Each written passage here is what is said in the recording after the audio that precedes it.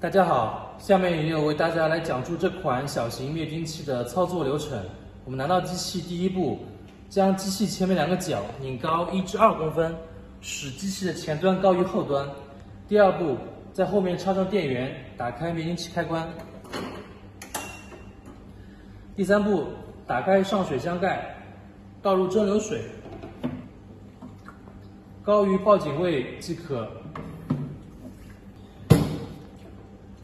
然后我们看一下前面的屏幕上的按键，最上面这个是程序选择键，这边程序第一个是裸露器械的消毒，默认一次真空，一百三十四度；旁边这个是包裹后器械消毒，默认三次真空，一百二十一度；这边是橡胶制品的消毒，默认一次真空，一百二十一度；旁边这个是棉纱制品的消毒，默认三次真空。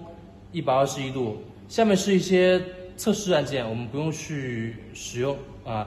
然后中间这个按键是上一次我们选择的一个消毒程序，然后再下面这个是一些设置按键，有语言类的，有检修的，有时间日期的，有水质检测的按键。然后我们回到第一个程序选择按键，选择一个我们所需要的一个程序，然后下面呢有两个按键。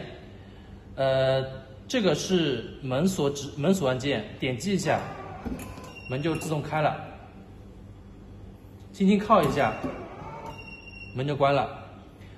然后，如果水上面水箱缺水，这边会显示出两个字“缺水”。如果机器的废水箱水满了，这边会显示水满，就要用排水管插到我们的排水口。将废水箱排出。选择我们需要的程序之后，只要点击开始按键，机器就开始消毒。这边是抽真空的状态。等到整个机器运行结束，打印机会自动打印出消毒程序，整个消毒程过程完毕。谢谢大家。